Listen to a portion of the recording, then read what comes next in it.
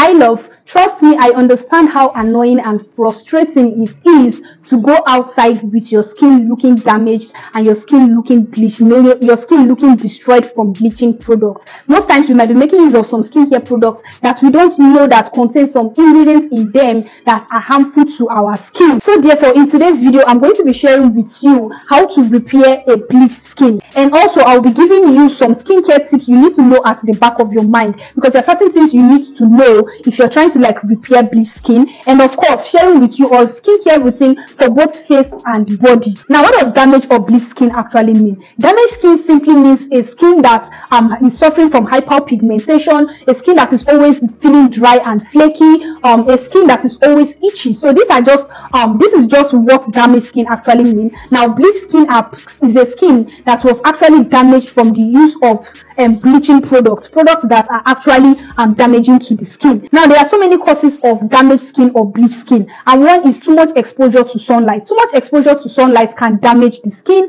Another one is over exfoliation over exfoliating your skin can make your skin feel dry and in return it can damage the skin. And then another cause of damaged skin or bleached skin is excess use of steroids. Now when i talk of steroids example is hydroquinone. Hydroquinone is a very common ingredient that um, people use in bleaching products and lightening products now the safest percentage of hydroquinone is 2 percentage. So if you're making use of a skincare product that contains above 2% of hydroquinone in it, that product is actually going to damage your skin. Now, a quick disclaimer. In the process of repairing your bleached skin, you need to know that you have to be very, very patient. This is something that will actually take time, okay? It is not something that will happen overnight. So you need to be patient and you need consistency with your skincare products and your skincare routine if you're trying to repair your bleached skin. And another thing you need to take into consideration, another disclaimer is that if you're trying to repair your damaged skin at first your skin is going to look worse.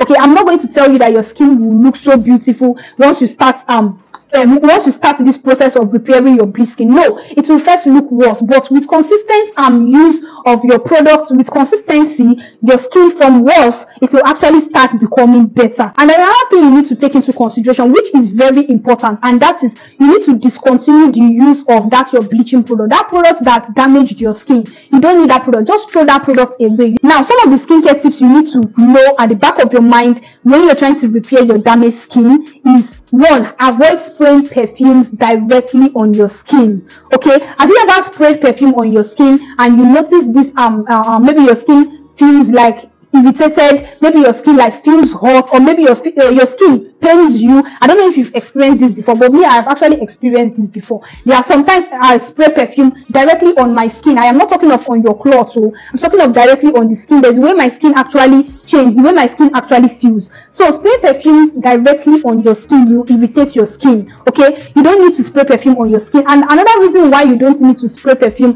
directly on your skin is that spraying perfume on your skin will make your skin sensitive to the sunlight. This is something that so many people might not know about. But yes spraying perfumes directly on the skin can actually increase sun sensitivity. Now, another skincare tip is do not skip your sunscreen. If you're trying to repair your damaged skin or your bleached skin, your sunscreen should be your best friend. And also, you need to avoid the use of irritating products like retinol. I know that retinol is a very good ingredient that will, that actually helps with anti-aging, but in the process of repairing your bleached skin, you don't need retinol because retinol will irritate your skin. Retinol is actually irritating, and there's this thing that retinol also does to the skin, and that is when you start making use of retinol, retinol tends to make your skin look red. Like it increases the redness on your skin, it increases the sensitivity on your skin. Okay, so you don't need retinol in your skincare routine if you're trying to repair your bleached skin. And then another tip you need to know is that make use of gentle cleansers. And when I say gentle cleansers,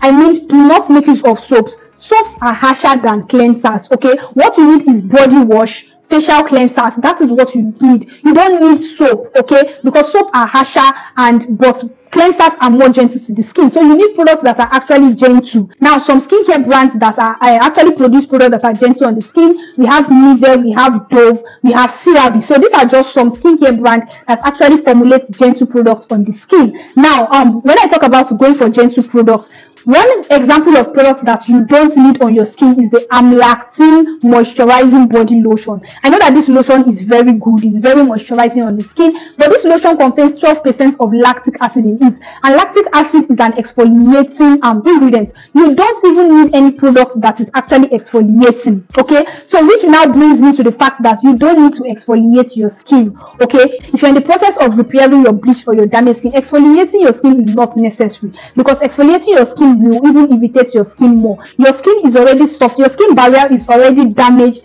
and exfoliating the skin will be harsh on the skin. And then another skincare tip is that you need to avoid the use of hot showers. Okay, making use of hot showers can strip the moisture on your skin, it can make your skin dry. You don't need something that will cause dryness to your skin, and this drying action that hot showers gives to the skin can in return even cause more damage to your skin barrier. The type of um, products you need on your skin are products that will moisturize your skin. Those are the type of products you need. So hot showers is not necessary. Now coming to the products recommendation and skincare routine. Firstly, there are some good ingredients that are actually very good for the skin. They're actually very good for damaged skin and bleached skin. And some of these good ingredients, we have shea butter. Shea butter has a lot of skin healing properties um, shea butter contains vitamin A and vitamin E in it, and vitamin A and vitamin E actually helps to promote healthy skin, and vitamin A and vitamin E also helps to like protect your skin cells from free radicals. Now, another good ingredient is vitamin E. Now, vitamin E actually helps to protect the delicate skin from damage caused by free radicals, and this is due to um, the antioxidant benefits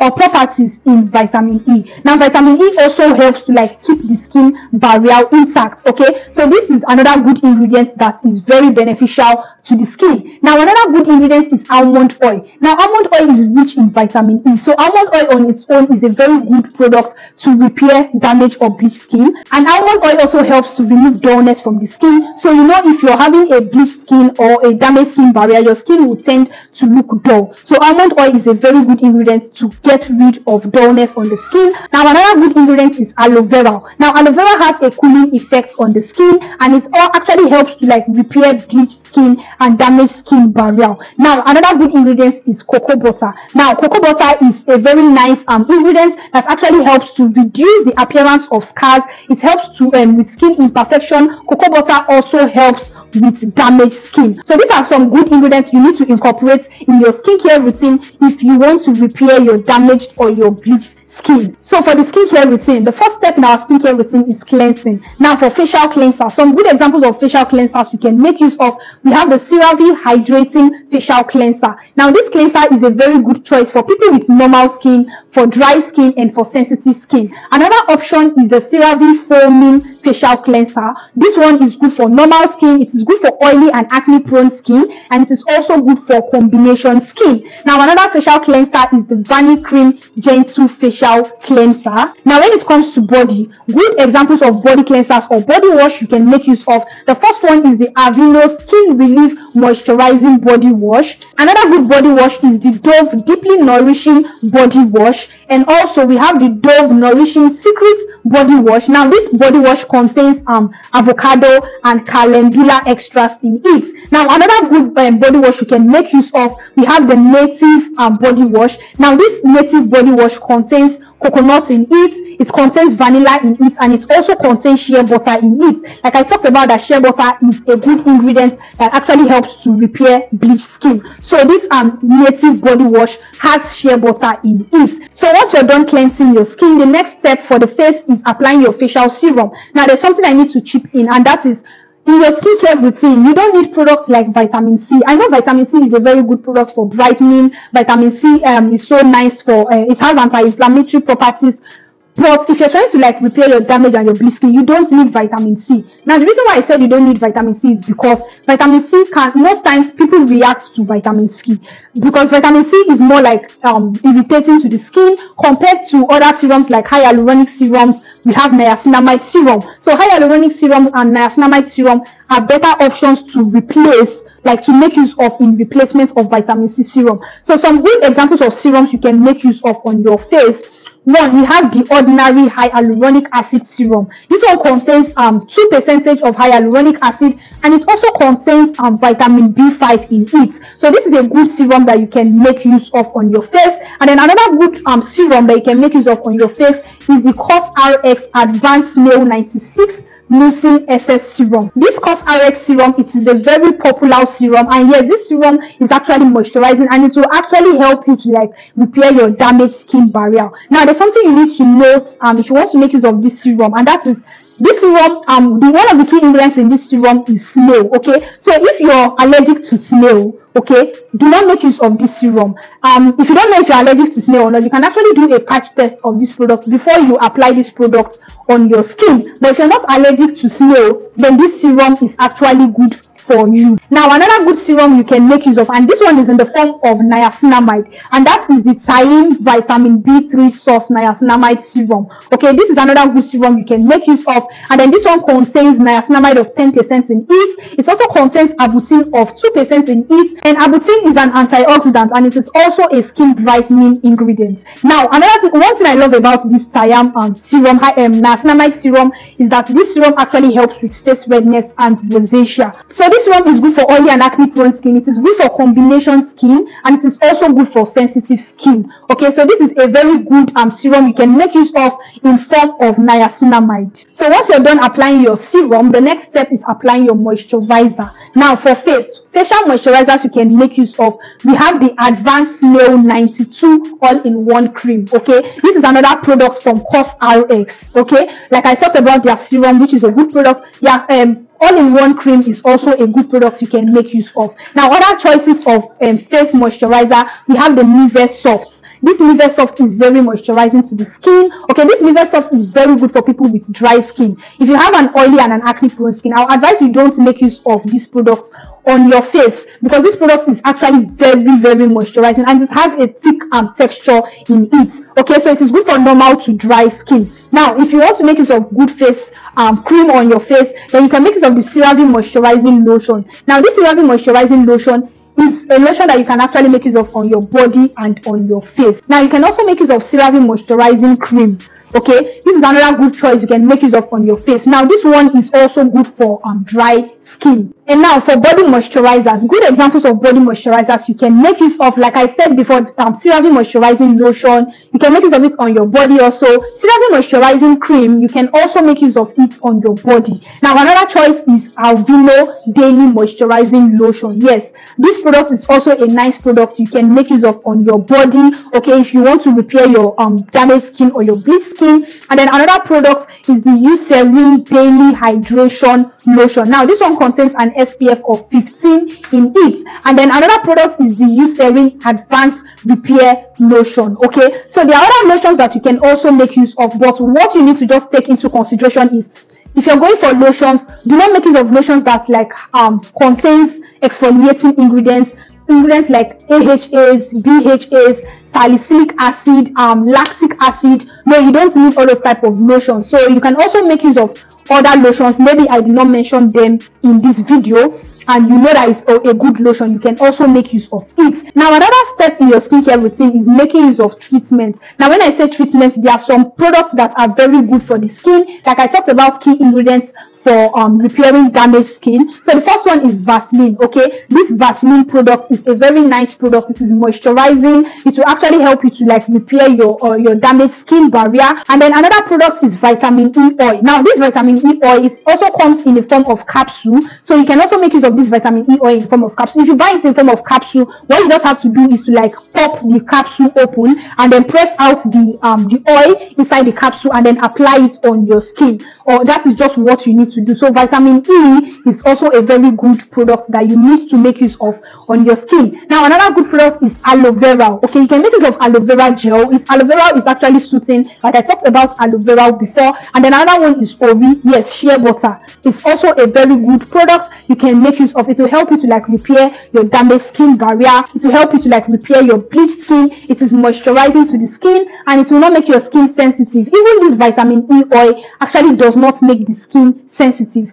Now, another good product um, uh, in form of treatment you can make use of is the almond oil. Okay, almond oil is very very good for the skin. Almond oil actually helps with skin dullness. Like I talked about almond oil before. Now, some good examples of almond oil you can use, and this is in form of body oil. The first one is the Dr. Teal Sweet Almond Oil. Now, that now brings me to the next step in our skincare routine, which is applying body oil. So you need body oil in your skincare routine. You need products that will help you to moisturize your skin. You need products that will help you to like glow your skin. If you need product that will moisturize and glow your skin, then body oil is very important. So, like I said, the first option is Dr. Teal Sweet Almond Oil. So, this one contains almond oil as one of the key ingredients in this product. And then another one is Dr. Teal's Lavender Essential Oil. Now, this Dr. Teal's Lavender Essential Oil also contains almond oil in it. Like almond oil is one of the key ingredients that were that were used in manufacturing this um, product. Now, another good almond oil you can use is the now sweet almond oil okay? So this is another lovely product that you can make use of.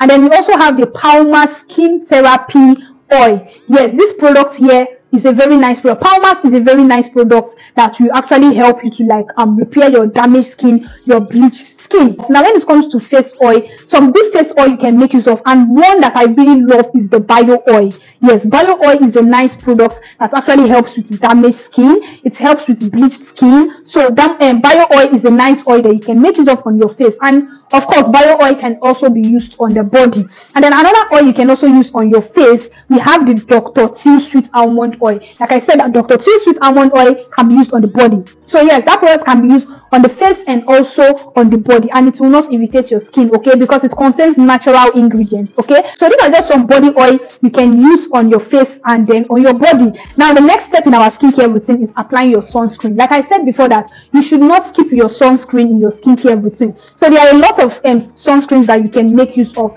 but some good examples of sunscreens you can make use of one we have the bondi sands daily moisturizing face um, this one contains an SPF of 50 in it. Now, when you're picking sunscreens to make use of, try and go for sunscreens that has at least an SPF of 50 in it. Now, the reason why I said um, SPF of 50 in it is because you need products that will actually help. You need something that will protect your skin from the sun. Okay, that is what you need. So, I'm going for products that contains higher percentage of um, sunscreen SPF in it, it is more beneficial to the skin. So the first sunscreen is the Bondi sunscreen with SPF of 50 plus in it. Now this sunscreen is fragrance free. This sunscreen is moisturizing and hydrating to the skin. This sunscreen is very good for sensitive skin. And the two main ingredients that I use in manufacturing this sunscreen, we have aloe vera and we also have vitamin E. Like I talked about the aloe vera and vitamin E is good for repairing bleached and damaged skin. Now this sunscreen is also lightweight and it doesn't sting the eyes and it will also not clog your pores.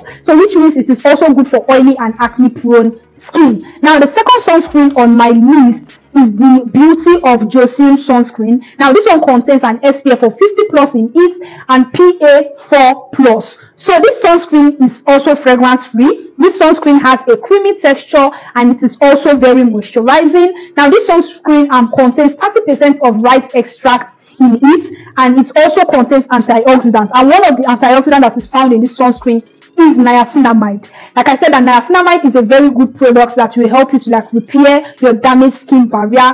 Niacinamide will help you to like repair your bleached skin. Now, this sunscreen is good for all skin types. That is, if you have oily skin, acne prone skin, sensitive skin, dry skin, and combination skin, you can make use of this Beauty of Joseon sunscreen. Now, another good sunscreen you can also make use of is the Black Girl Sunscreen Kits. Now, this one contains an SPF of 50 in it. Now, this sunscreen is fragrance free, okay, and this sunscreen is very moisturizing. It has a thick, this sunscreen has a thick texture, okay, and it is actually very moisturizing. And this is also something I need to point out, and that is this sunscreen is good for dry skin. If you have an oily skin, acne prone skin, this sunscreen is not like a good choice for you, okay? This one is best for people that has dry skin. And the reason why is because this sunscreen is very thick and of course it is very moisturizing to the skin. But if you're looking for good sunscreens that you can make use of let's say you have an oily and an acne prone skin and sunscreen that will not leave a white cast on your face. I have actually filmed a video where i talked about five good sunscreens for oily skin and acne prone skin. So this is the link of that video. So you can follow this link over here to check out that video. So love i'll see you all in my next video. Bye